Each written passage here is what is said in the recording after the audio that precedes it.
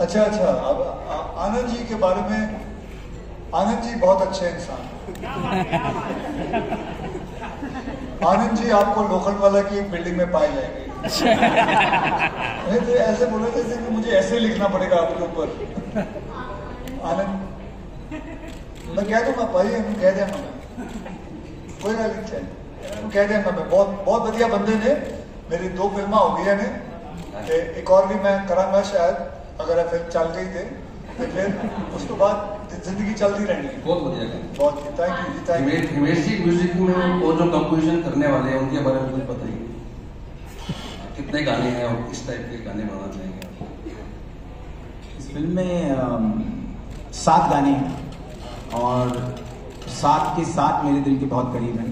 और आपको मुझे लग रहा है कि बहुत ही कंप्लीट एल्बम मिलेगा म्यूज़िक लवर्स के लिए, क्योंकि ओवरऑल एक इस वक्त का माहौल ऐसा है कि लोग हमेशा बात करते हैं कि रिक्रिएशंस क्यों हो रहे हैं और म्यूज़िक की क्या कमी हो गई है।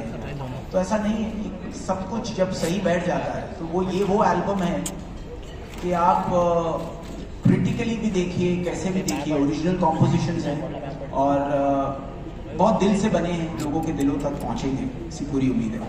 So I think it's a complete album hello मेरा सवाल हिमेश जी से है, आरती सक्सेना। हिमेश जी, मैं आपसे काफ़ी सालों टाइम से एक क्वेश्चन पूछना चाह रही थी कि जब से आपने जजिंग शुरू की है म्यूजिकल शोज़ में